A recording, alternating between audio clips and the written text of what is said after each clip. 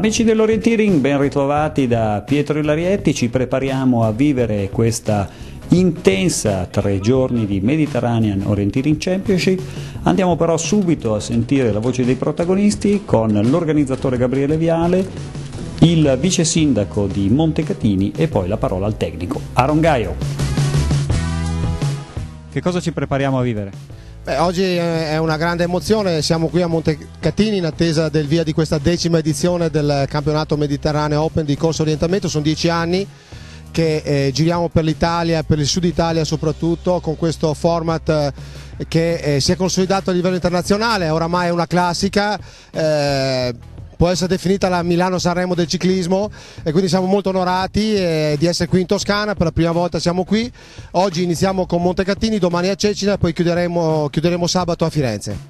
Un evento che oltre ai numeri e alla qualità dei concorrenti esprime anche un grosso potenziale dal punto di vista del turismo. Sicuramente qui siamo pienamente mm, all'interno del cosiddetto turismo sportivo perché oltre ai grandi campioni pensiamo che abbiamo 5 campioni del mondo, abbiamo il campione del mondo Marte Bostrom in carica, eh, il 19 volte vincitore in Coppa del Mondo Daniel Hum e tanti altri. Eh, un... loro trainano tutti gli appassionati, i veterani che così vengono in vacanza, fanno attività sportiva e questo vuol dire pernottamenti, posti letto, servizi, consumi e quindi questo va a integrare anche un turismo destagionalizzato che fa sempre bene in un'Italia che punta sicuramente all'industria del turismo. Un territorio che ha ben accolto questo appuntamento. Sì, noi siamo stati entusiasti fin dall'inizio, fin da quando ci è stato proposto di ospitare nella nostra città questo evento. E Montecatini si presta per la sua posizione geografica e per la sua capacità eh, di ospitalità a, eh, a, ospitare appunto eventi di grande richiamo anche a livello eh, sportivo. Le nostre terme, il, il verde cittadino si presta appunto come luogo ospitale ideale eh, anche per manifestazioni eh, di questo tipo. Siamo molto soddisfatti per aver coinvolto anche le nostre scuole e di conseguenza l'esperienza è molto positiva questo si è visto fin dall'arrivo degli ospiti in città. L'esperto tecnico dell'evento è Aaron Gaio, tre prove totalmente diverse tra di loro. Sì, una prima prova a Montecatini appunto in questo parco, quindi con cambi di direzione molto veloci. Direi sì, la tecnica più che altro in velocità, quindi capire il punto giusto, ci saranno vari punti in giro, per cui molto, molto veloce. E domani andremo in un terreno completamente diverso sulla pineta di Cecina, quindi un bosco abbastanza fitto, movimenti molto, molto accentuati e quindi fino ad arrivare più vicini alla spiaggia con l'arrivo sul mare, per cui dal parco andiamo completamente nel bosco con un terreno molto molto diverso, la distanza middle sarà più lunga, quindi una mezz'oretta di gara per i primi, non più il quarto d'ora di, della prima e della terza tappa, per poi finire con l'ultima tappa a Firenze in un terreno completamente piatto, un parco lungo l'Arno, il parco delle Cascine di Firenze, che avrà la particolarità della partenza a cazza come tappa, quindi i migliori partiranno con chi sarà in testa dopo due tappe partirà per primo e gli altri dietro a seconda del distacco che avranno, quindi credo che i distacchi saranno limitati e vedremo una bella sfida, forse una delle sprint più veloci che possiamo trovare sicuramente in Italia. Ecco, queste erano le parole dei tecnici, ci prepariamo così a vivere queste tre prove di Montecatini, Cecina e Firenze, campioni, eh, tanti turisti, 300 partenti da 19 nazioni differenti. Una sorpresa per tutti gli amanti dell'orienteering, qui al mio fianco uno dei più grandi speaker italiani, Stefano Calletti. Buongiorno a tutti, grazie Pietro per l'ospitalità. Ha detto bene Gabriele Viale, tanti campioni al via, alcuni li abbiamo già visti, abbiamo visto per esempio Mattias Kiburz, abbiamo visto Daniel Ubban, qui vediamo la mappa di Montecatini nello special organizzato da Claudio Russo. Sì, sono i 23 punti, così eh, come ben sapete i concorrenti vanno da un punto all'altro, all'altro, ovviamente in un rigoroso ordine, non si deve saltare nemmeno un punto. E andiamo a vedere alcune di queste partenze, è doveroso citare gli azzurri in gara che sono Riccardo Scalete e Giacomo Zagonel, entrambi provenienti dalla Valle di Premiero, così come Mattia De Bertolis, invece gioca in casa ed è l'IKP Prato Gianluca Salvioni tra le donne da citare Elisa Lucian, le sorelle Arianna e Francesca Taufer e Martina Palumbo, osservati speciali da dal coach Jaroslav Kakmarczyk per una selezione ai campionati mondiali 2014 che si disputeranno proprio in Italia nel mese di luglio sugli altopiani di, Esago, di Asiago, Folgaria, Lavarone e nelle città di Trento e Venezia. Abbiamo visto proprio la partenza di Gianluca Salvioni, uno degli azzurri in gara, questo in gara con Vanessa Round, l'australiana, e il premierotto Mattia De Bertolis con la divisa della squadra nazionale. Ecco, gli azzurri che sono qui anche non solo per i campionati mondiali, ma si guarda ai campionati europei che si tengono il mese prossimo in Portogallo. Portogallo nel territorio di Palmela, un territorio abbastanza piatto, quindi una possibilità in queste situazioni di organizzarsi come si sta organizzando proprio Martin Bostrom, questo è uno degli osservati speciali, è il campione del mondo proprio su questa distanza. Quindi non uno qualunque, uno che oggi potrebbe magari anche vincere. Potrebbe vincere così come potrebbe vincere anche l'atleta danese che è partita insieme a lui, Maya Alm, già sul podio proprio sulla distanza sprint ai campionati mondiali di qualche anno fa. E ti devo interrompere ancora una volta perché qua abbiamo altri due pezzi da 90. A destra Judith Fieder, la nouvelle vague della squadra elvetica, a sinistra abbiamo visto Daniel Hubman, il killer della nazionale elvetica, più volte campione del mondo, più volte vincitore della Coppa del Mondo, sicuramente uno degli orientisti più forti di questo decennio. Beh, direi che qui il campo dei partenti è veramente qualificato, ma secondo te chi la potrà spuntare? Beh, Hubman sicuramente è uno dei favoriti in campo maschile, dovrà guardarsi soprattutto dallo svedese Jonas Leandersson, specialista, già medaglia di bronzo ai campionati mondiali nella distanza sprint. Qui invece a cura di Claudio Russo vediamo la rappresentazione di quello che è un esempio di percorso di gara, ovviamente ognuno ha un, eh, il percorso, sapete che nell'orienteering ognuno se lo fa a modo suo perché non è detto che per andare da un punto all'altro tutti ci vadano passando dalla stessa traiettoria, è un, è un esempio che abbiamo voluto realizzare per farvi capire meglio come vanno le cose in gara. Abbiamo visto passare altri fortissimi atleti, uno di questi era Martin Hubman, il fratellino di Dani, il fratellino per modo di dire, è già campione europeo a staffetta con la nazionale elvetica, sicuramente uno dei candidati per i prossimi europei. Non solo campioni abbiamo visto qui in questa discesa, eh? molti master in gara. Abbiamo vinto molti master, questo dovrebbe essere Nick Barable, un atleta inglese, dietro a lui invece un atleta juniores era proprio Francesca Taufer, atleta dell'US Primiero, di Fier di Primiero. Bene, qua gli atleti sono molto ben visibili in questo parco bellissimo, nelle terme di Montecatini, una gara come ho detto molto veloce e ora vedremo gli atleti al punto spettacolo, cioè quel punto che permette al pubblico di vedere da vicino i propri campioni che altrimenti sarebbero sempre in bosco, no? Esatto, sarebbero sempre in bosco, permette anche agli allenatori in questo caso di vedere i distacchi tra gli atleti e di calcolare magari se un atleta è in vantaggio su un altro e di dare qualche utile indicazione. Gli atleti passano appunto dal punto spettacolo, la cosiddetta lanterna 100, alla quale torneranno dopo un ultimo giro che li vedrà sicuramente correre allo spasimo, al massimo delle loro possibilità. Ecco, mentre arrivano i primi master, lungo il, questo vialetto che porta al traguardo anche i bambini delle scuole elementari. Il passaggio di Morten Bostrom per la squadra finlandese, altri passaggi Felicity Brown della squadra nazionale australiana, proprio dai cinque continenti per partecipare al Mediterranean Orienteering Championship, atleti della squadra nazionale britannica che ha utilizzato questa gara anche come selezione per i prossimi campionati europei e tra poco vedremo arrivare sicuramente anche i vincitori. In campo femminile si aspetta una sfida svizzera, questo è sicuramente un campione da citare. Stefano, un, cam- un, campione da citare che però in questa gara non sembra andare molto bene oggi. Sicuramente il norvegese Österbo, sempre piazzato a livello di campionato mondiale, può ben figurare il suo appuntamento sono i mondiali 2014. Ecco l'azzurro Mattia De Bertolis e prima due atlete australiane testimoniano proprio l'internazionalità dell'evento. Esatto, Felicity Brown e Vanessa Round. Al traguardo insieme si sono raggiunte nel parco di Cecina, altri atleti sul traguardo che subito controllano la loro situazione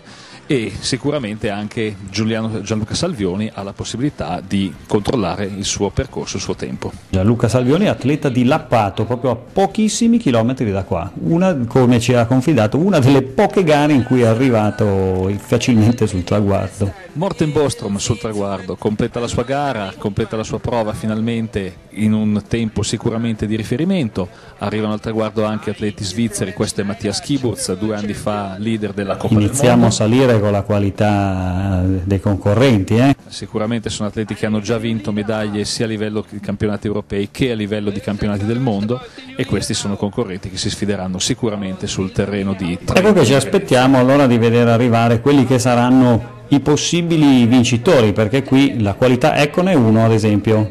Questo è sicuramente, abbiamo visto prima il, lo svedese Jonas Le Anderson, c'è anche Judith Wider della nazionale elvetica e questo Eccolo qua, Leroy, il killer, proprio lui. Daniel Hubman, più volte campione del mondo, più volte vincitore della Coppa del Mondo, sicuramente a suo agio su questo terreno. Questa è una situazione. Esatto, un arrivo importante. importante. Un arrivo importante, quello di Emma Klingenberg, un atleta che a livello juniores ha vinto medaglie importanti ai mondiali di categoria e quest'oggi è una delle favorite proprio su questa distanza che l'ha vista primeggiare, così come l'inglese Scott Fraser. Allora, distanza corta ma arrivano stanchissimi sul traguardo. Sono atleti che hanno dato tutto, così come tutto quanto ha dato Jonas Le Anderson che vince con 6 secondi su Daniel Hubman e altri pochi secondi sul belga Yannick Michels, una autentica sorpresa. Tra le donne Emma Klimberg davanti a Maya Alm e Sabine Auschwitz.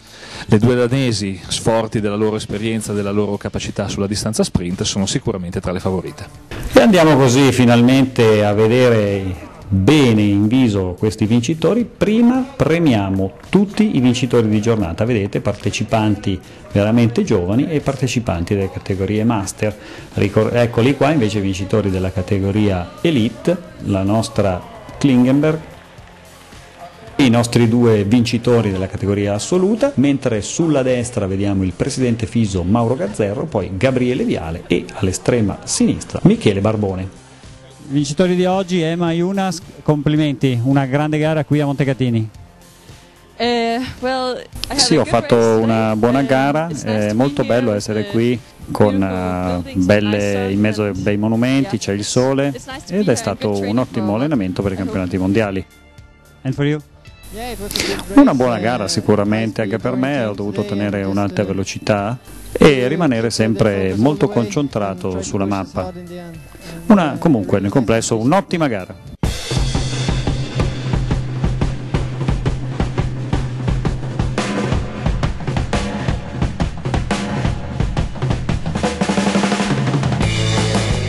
E siamo alla seconda tappa, siamo a Cecina in questa pineta sul mare, cambiamo completamente lo scenario di gara diciamo che sicuramente potrebbe essere Stefano la tappa che stravolgerà la classifica generale.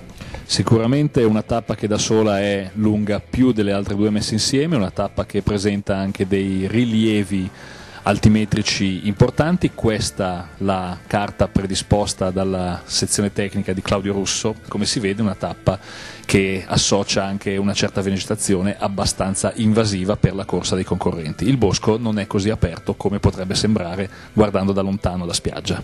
Ecco qua vediamo il nostro Gianluca Salvioni, è uno degli italiani in gara, ovviamente e non potrebbe essere diversamente, noi siamo anche un po' di parte con il nostro tifo. Siamo di parte ma non dobbiamo dimenticare che gli atleti italiani in questo Mediterranean Orienteering Championship si sono confrontati veramente col gota dell'elite internazionale. E a proposito di gare internazionali, Roland Pin che l'anno scorso è entrato nella top 10 ai campionati mondiali master che si sono svolti a Sestriere. In questa prima fase vediamo atleti intenti proprio in, in, diciamo in una fase di ambientamento, no? potremmo dire, studio del bosco, dei dettagli Esatto, gli atleti cercano di entrare in gara il più concentrati possibile sicuramente, ma anche il più vicini a quelle che potrebbero essere le caratteristiche del bosco. Si guardano attorno, cercano di studiare il terreno, cercano di capire in che direzione, proprio a livello di punti cardinali, come ha fatto questo atleta proprio in questo momento, in che direzione partiranno per avere subito la mappa orientata nella direzione giusta. Sono favoriti dal fatto che i primi metri sono fettucciati, quindi è una sorta di sentiero guidato che li conduce proprio nel bosco e in questo senso i primi metri servono proprio per orientare la mappa e prendere confidenza anche col fondo del terreno. Ecco questi occhialini che vedete sono un paio di occhiali dotati di microcamera e oggi vedremo un esperimento direttamente dal bosco con la nostra telecamerina posizionata, tanto per regalare l'emozione di essere un vero orientista. Parte un grande corridore. Parte Martin Hubman, velocissimo e subito dietro di lui nelle immagini vediamo il fratello maggiore. Daniel Hubman. Daniel Hubman che non ha nessuna intenzione di abdicare né a livello internazionale né a livello familiare. Dietro a Daniel Hubman l'atleta, uno degli atleti che gli renderà più dura la vita ai campionati mondiali, il finlandese già citato Morten Bostrom, campione del mondo sprint due anni fa. A proposito di Daniel Hubman, in, in, un momento di incontro ci ha proprio confidato che non ha nessuna intenzione di mollare l'orienteering ad alto livello, mentre lasciamo par- partire Bostrom, continuiamo questo discorso su Hubman che ci ha detto che sarà sicuramente ai mondiali di Asiago, Lavarone, Folgaria. È passata intanto un'altra atleta ticinese, Nina Nembrini dell'Aget Lugano, come si può vedere il bosco alterna zone più aperte ad altre dove la vegetazione è un po' più invasiva, i concorrenti troveranno quindi pane per i loro denti. Daniel Urban in questa gara vuole sicuramente rimontare la posizione in classifica, i 7 secondi che lo separano da Jonas Leanderson è la sua distanza, Leanderson forse più favorito sulla distanza breve, Urban un po' più favorito sulla media distanza. Ho ancora un esempio che ci spiega cosa dovranno fare gli atleti oggi all'interno di questa pineta, come vedete ognuno va a cercare quello che ritiene essere il percorso migliore e quindi potrebbe essere per assurdo che due atleti di vertici compiano due scelte diametralmente opposte. Questa è una cosa che si verifica molto spesso, anzi è la prassi nell'orienteering. L'atleta che stiamo vedendo in questo momento è Susan Lösch della squadra nazionale tedesca, sono atleti abituati a correre in Italia anche al lago di Lavarone, come è successo l'anno scorso in una tappa del World Ranking Event, stanno appunto preparando al meglio i campionati mondiali. E qui ti interrompo perché vediamo ancora il nostro Roland Pin, perché sai, noi siamo sempre un po' partigiani e siamo un'attenzione particolare agli atleti azzurri. Roland Pin che è anche ora un ottimo allenatore. Roland Pin è stato anche due volte campione europeo, master e qui è proprio l'immagine vista dal punto di vista dell'orienteering, dell'orientista, questa glasses camera, questo esperimento lanciato nella pineta di Cecina che fa vedere proprio il punto di vista dell'atleta. Senti Stefano, tu che sei un orientista, quanto rende l'idea questa camera? Rende molto bene l'idea perché quella è proprio la visuale davanti agli occhi del concorrente. Ci sono due tipi di visuale per l'orientista, quello negli occhi e quello a livello dei piedi. I piedi possono essere più ostacolati mentre gli occhi possono avere una visuale più sgombra. Quell'immagine dava sicuramente l'idea anche con il movimento della testa della cartina di quella che è l'attenzione che il concorrente mette a tutti i dettagli e tutti i movimenti del terreno attorno a sé. Ecco, qui possiamo notare come eh, i concorrenti passino, che sembra, sembrano quasi dei passaggi senza senso, però dentro ognuno di loro c'è comunque un'idea molto ben chiara di quello che deve essere il percorso.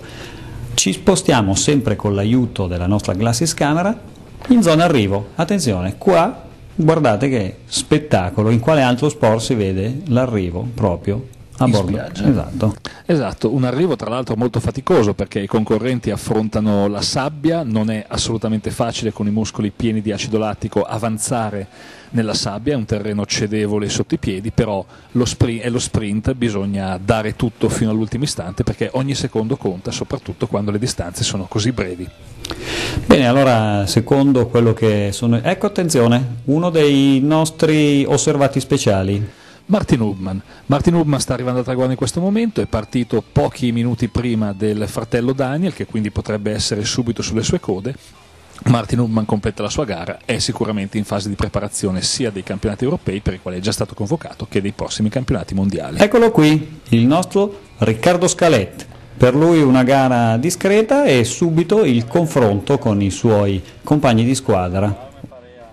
In questo caso Riccardo Scaletta confronta subito le scelte nella vegetazione un po' fitta, arrivano anche altri atleti, questo era proprio Morten Bostrom, il finlandese volante che travolge anche un pezzo del rettilineo di arrivo e subito lo rimette a posto. Una delle migliori gare fino a questo momento, il, il cronometro dice che è nella top 3 nella top 3, ma adesso stanno arrivando veramente i grandi big. Questo è Daniel Urban, un atleta che non ha bisogno del Mediterranean Orienteering Championship per aumentare la sua credibilità, ma sicuramente vuole vincere, vuole vincere perché l'avversario di oggi è Jonas De Anderson, si rincontreranno ai mondiali. La sua corsa era veramente energica e lo vedo arrivare ancora, non dico rilassato, ma a un bel viso. Daniel Hubman ha sempre quella concentrazione nel volto, un autentico killer, arriva anche l'atleta danese che ha vinto ieri, Emma Klingenberg, bisognerà vedere. E attenzione, abbiamo finalmente l'ufficialità del cronometro con Daniel Hubman che è andato a prendersi la testa della gara e della classifica, quindi potremmo dire tappa e maglia, stesso discorso per Sabine Hauswirth. Daniel Hubman guida con una trentina di secondi di vantaggio su Jonas Le Anderson, in campo femminile prende la testa Sabine Hauswirth sulla forte atleta della Gran Bretagna Catherine Taylor, terzo posto per Judith Fieder. Passiamo quindi alle premiazioni con Gabriele Viale che si prepara a chiamare sul palco tutti i vincitori di giornata. In questo caso la classifica vede Daniel Hubman vincitore di tappa e leader diciamo, maglia rosa della gara di Cecina, abbiamo visto inquadrato anche Roberto Pradello, uno dei tecnici della squadra nazionale italiana della FISO. Ed eccoli i nostri due vincitori che andiamo a ascoltare. Primi di tappa e primi nella classifica generale. Uh, today a great victory for you. Yes, sì, una bella gara e speravo di vincere. Anche per me è una bella gara dove dovevi essere molto concentrato. Molto difficile, ma bisognava fare la scelta giusta. Siete qui per allenarvi, ma anche per preparare i campionati mondiali. Sì, una competizione importante. È una competizione molto importante. Una gara molto carina qui al MOC e siamo qui per lavorare. Ci saranno i campionati del mondo a, a luglio. Sì, abbiamo, faremo un training camp a maggio per preparare questi campionati sì, anch'io farò la stessa cosa, farò lo stesso camp di allenamento per preparare i campionati del mondo. Domani a Firenze? Eh sì, cercherò di vincere. Certo, anch'io proverò a vincere. Thank you very much. Siamo tutti fratelli. Mauro Goglielmi, responsabile CONI della provincia di Livorno, una toscana terra di sport. Sì, è vero, è vero, veramente anche questa zona in particolare è continuamente diciamo, sede di allenamenti, di gare, di tutti gli sport.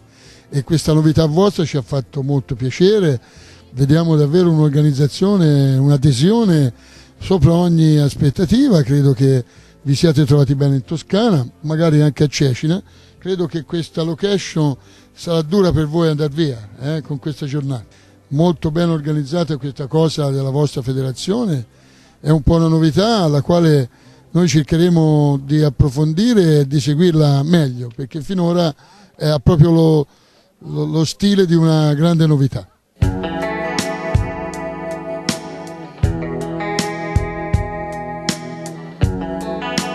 Effettivamente Stefano, come dare torto a Paolo Guglielmi, difficile andare via da questo mare difficile, ma i concorrenti sanno che li aspetta ancora una tappa, ancora un momento di divertimento. Queste sono le immagini del Parco delle Cascine, Firenze.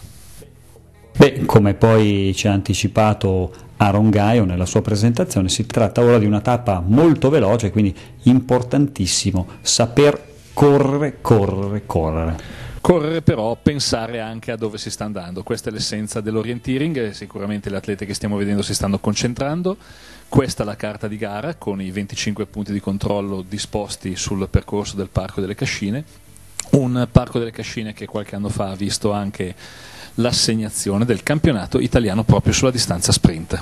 Ricordiamo i vincitori di allora che furono Michela Guizzardi e Andrea Seppi. Andrea Seppi e Michela Guizzardi, esatto. Attenzione Stefano, oggi una partenza diversa dal solito, infatti il primo a partire è il leader della classifica. Come si chiama questa partenza e spiegacela tu.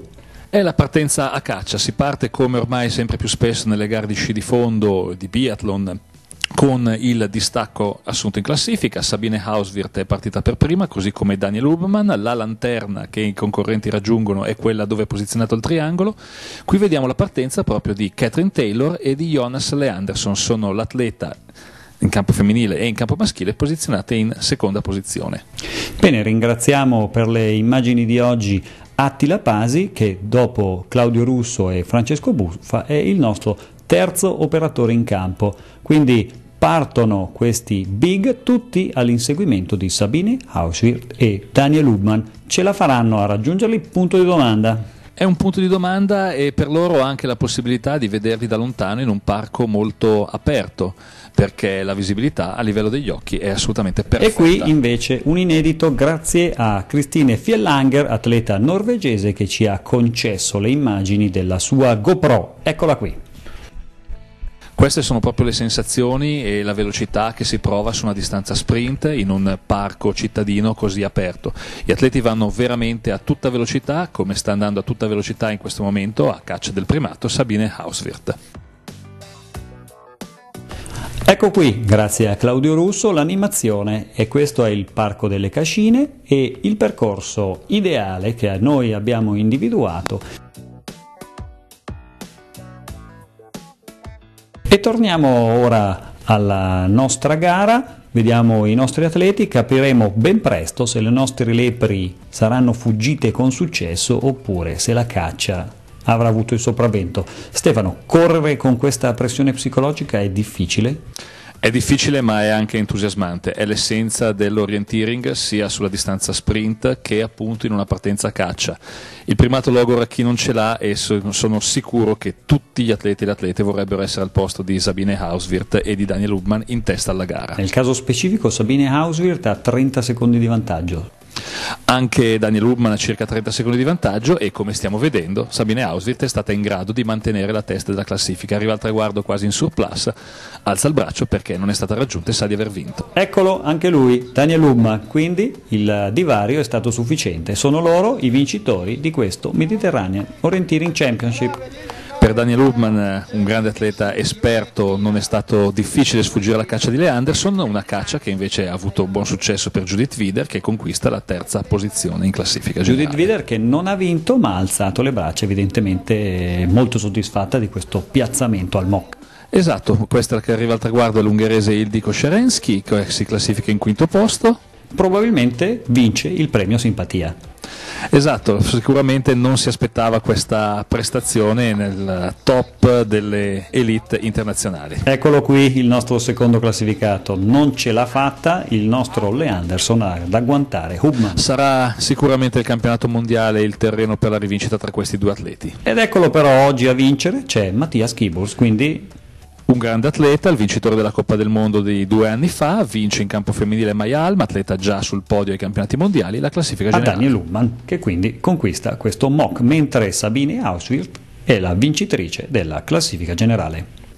Esatto, proprio così mi preme ricordare che al terzo posto della classifica maschile è una sorpresa il belga Yannick Michels, una relativa sorpresa. E siamo alle premiazioni curate da Gabriele Viale, molte le autorità presenti. Questa è proprio la terza in classifica Judith Wider della nazionale svizzera e parimenti della nazionale svizzera la vincitrice in campo femminile Sabine Auswirth proprio con la tuta bianca e rossa crociata. È così il momento delle premiazioni e a premiare oggi anche Dario Brottini degli albergatori di Montecatini Ovviamente eccoli qui i primi tre classificati maschile e femminile della categoria Elite, qui con Gabriele Viale, organizzatore. Catherine, oggi non era possibile vincere contro questi avversari? No, ero molto stanca ma non potevo fare di più.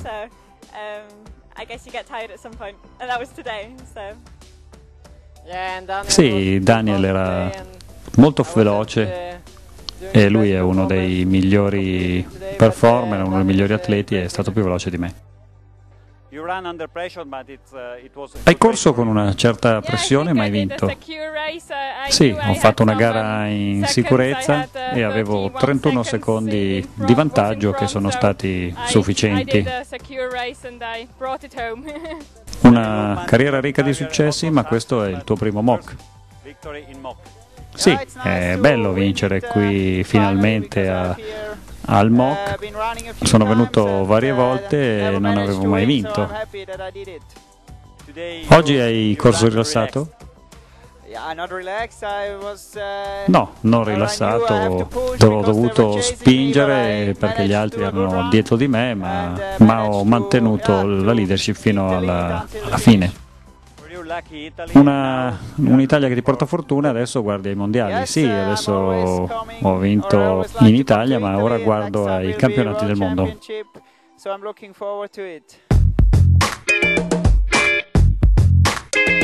Veramente simpatico Daniel Lubman, bene stiamo quasi per avvicinarci alla conclusione di questo trittico, però prima di salutarvi ascoltiamo la voce del segretario generale della FISO Andrea Rinaldi e del presidente Mauro Gazzerro. Andrea Rinaldi, segretario generale della FISO, per la federazione un bilancio di che tipo? Ah, tre giorni di festa, di orienteering, direi che per la FISO queste sono cartoline importanti perché l'orienteering passa attraverso questi passaggi anche di eventi internazionali di alto livello mescolati anche a questo pubblico, questi ragazzi fino agli 80 anni che vengono a valorizzare le nostre città. Nulla di meglio per la sostenibilità dell'orienteering, avere i grandi campioni e le persone che vengono a fare turismo. Presidente Mauro Gazzerro, si conclude questo mock con un risultato che per voi Ah, un risultato importante, apertura della stagione con una tre giorni di Toscana che ha trovato il sole, abbiamo finito quest'oggi qui a Firenze un tritico importantissimo passando per eh, Montecatini e Cecina e quindi direi nel migliore dei modi il lancio stagione. Domani a Milano, trofeo centri storici, altro appuntamento importantissimo, valido fra l'altro come selezione per la nostra squadra nazionale. Ecco, però l'Italia quest'anno aspetta tanti appuntamenti importanti, uno in particolare. Ma siamo assolutamente concentrati perché a luglio, come ormai noto, ospiteremo i campionati del mondo assoluti tra gli altopiani di Asiago e Lavarone, quindi ci stiamo preparando sia in termini di squadra nazionale che in termini organizzativi.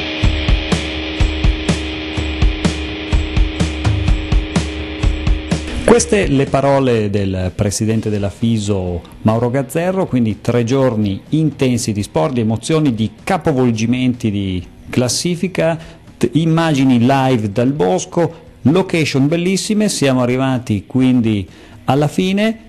Stefano, che dire di più? Che dire che ci rivediamo ai campionati mondiali del 2014, prima settimana di luglio con tutti questi campioni. Da Pietro Larietti e Stefano Galletti. Arrivederci a tutti, alla prossima.